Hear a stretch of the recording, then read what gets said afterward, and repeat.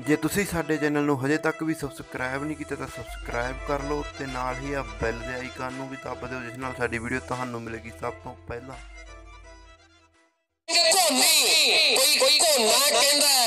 ਪਰ ਦੁਨੀਆ ਦੇ ਵਿੱਚ ਘੋਨੀ ਦੇ ਤੌਰ ਤੇ